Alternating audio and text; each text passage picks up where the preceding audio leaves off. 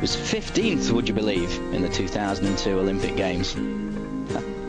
and he too is looking for a gold in this one. Amazing how he's come on and so beautiful to watch him skate. A mix of technical proficiency with great artistry. My life is brilliant.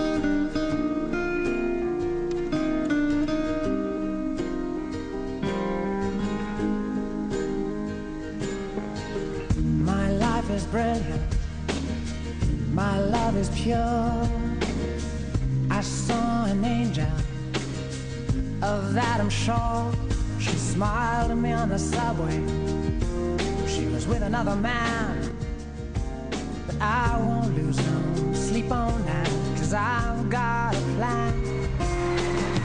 You're beautiful. Triple, triple combination. You're beautiful. You're beautiful. And some skaters you can watch all day. And Stephane's one of those. In a crowded place. And the I Easy.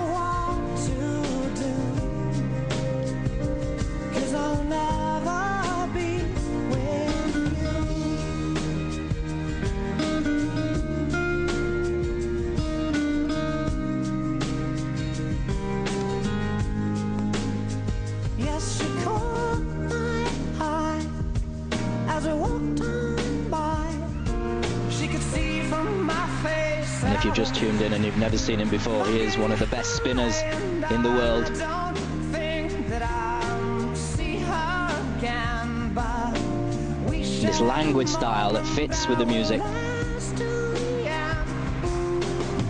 You're beautiful. You're beautiful.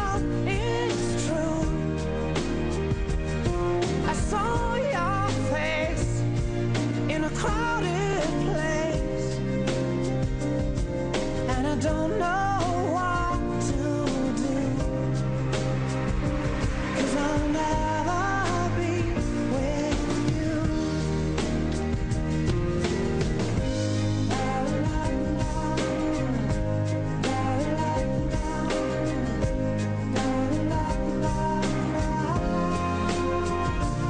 sometimes in the run up to big events like the Olympics, every little bit helps. And tonight he's going out after Evgeny Plushenko has skated.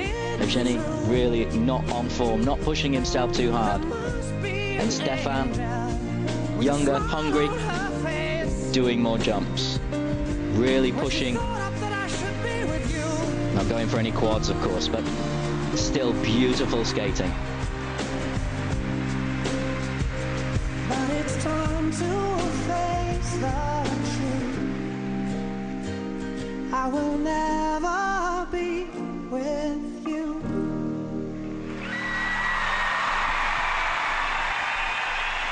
And he's winning the medal with the crowd tonight. And every little bit of psychological advantage makes a difference as the skaters meet each other on the Grand Prix circuit, come head to head in the build up to this biggest of years in the skaters' calendar. Every little bit helps. And tonight, so far, Stephane Lambiel has won the gold medal with the crowd.